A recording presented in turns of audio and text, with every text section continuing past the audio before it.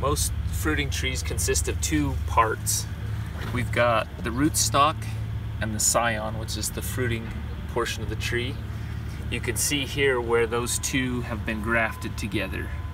The rootstock is below the graft union here, and the scion is above the graft union here.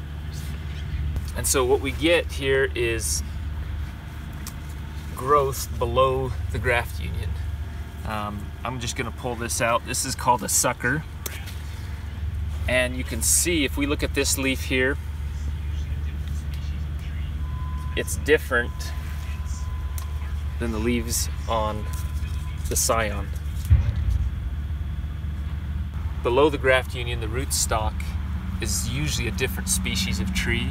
It's been selected for its hardiness, its uh, ability to better feed the tree. Um, it's also what determines whether or not this tree is a full-size tree, a, a semi-dwarf tree, or a, a, full dwarf tree.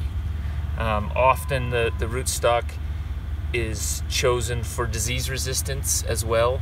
Certain diseases will attack the root system and we want to make sure that we're doing everything we can to help this tree to fully mature and become productive. And so, so the graft gives this tree a better chance of survival and uh, a lot better chance of being productive.